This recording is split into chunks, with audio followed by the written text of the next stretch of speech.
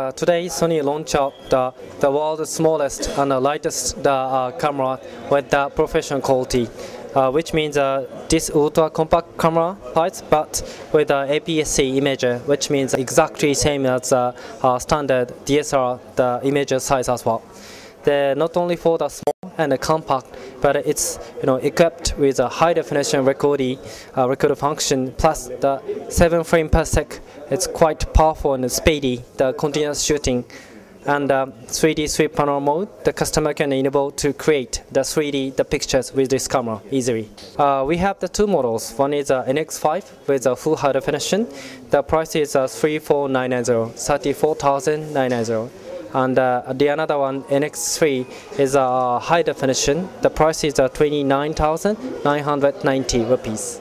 What are we are aiming for the kind of a step up to the uh, the Indian the high-end consumer cameras.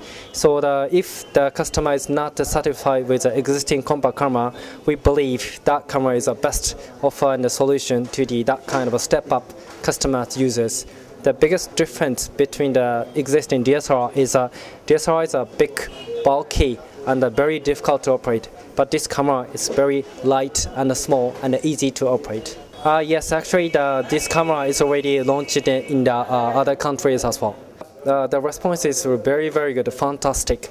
The, especially like uh, uh, market in Japan, we are clearly number two position. In Taiwan, number one position. The, across the nation, we are drastically increase the market share with this Alpha NEX. So we believe this camera also contribute a lot in the Indian market. The total market share in India, including the old camera, is approximately 35% for the uh, current situation. And uh, with introducing this model, we're aiming for the 40% value share in the FY11. Today is a you know NX you know press event, so can't comment on it.